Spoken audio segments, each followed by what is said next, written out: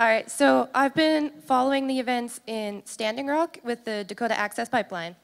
And my, I know that you said better relations with Indigenous people is a very important mandate of your government.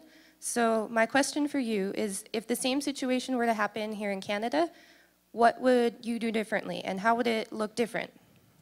Uh, great, great question and a really important one. Um, First of all, the situation in Canada versus in the US in terms of uh, regulatory systems, in terms of consultation and engagement with communities, with Indigenous peoples, uh, scientific analysis is very, very different. Uh, we uh, committed to uh, strengthen the engagement with local communities, uh, engage much more robustly than the American process is with Indigenous peoples, to consult, to listen, to hear concerns, and that's exactly what we've done. On the TMX pipeline, for example, there were uh, significant concerns by Indigenous communities along the route, particularly in BC. Uh, there were significant concerns by Canadians expressed around uh, increased tankers, uh, the concerns around spills, how we're going to protect our oceans, including our marine mammals. These were things that people brought up and highlighted as real concerns uh, that would have to be addressed before uh, we could get uh, any forward movement on uh, a project like that.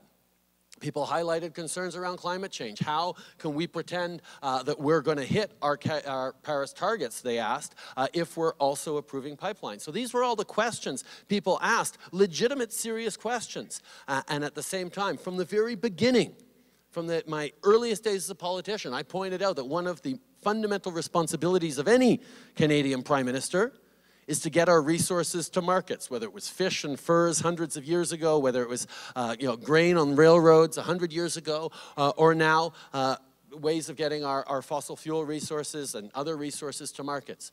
But in the 21st century, we need to do that responsibly and thoughtfully.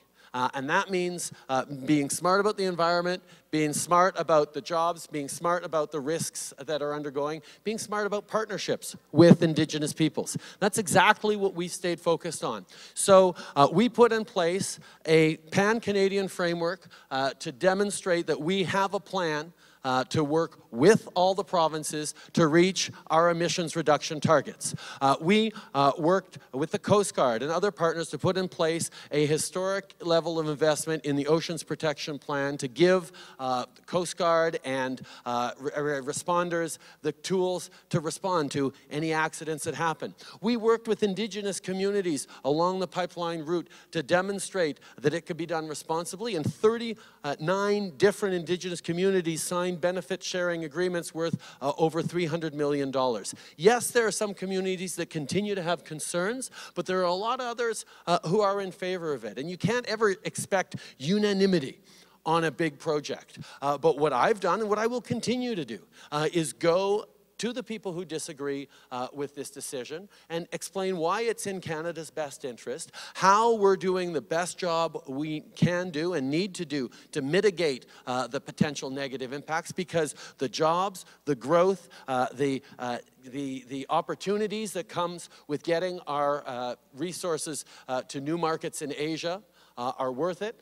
The way we're getting oil off of rail cars and, and, into pipelines, which is safer, is also a lot smarter. And uh, this is all done in a way that is thoughtful about moving forward on both making sure we have good jobs uh, and a growing economy and a protected environment at the same time. Uh, that's the commitment we've made, and that's a very different situation uh, from what happened uh, at Standing Rock in, uh, in, in the United States. But thank you very much for your question.